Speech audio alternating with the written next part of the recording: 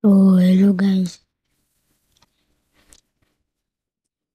Nak cakap pun tak boleh. Live kena copyright.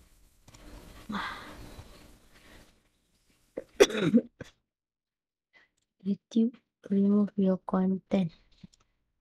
Ini semua tahu lah. The haters yang dah haters kot. Macam mana? Tahu. Tak apalah. Benda dah jadi. Bye-bye.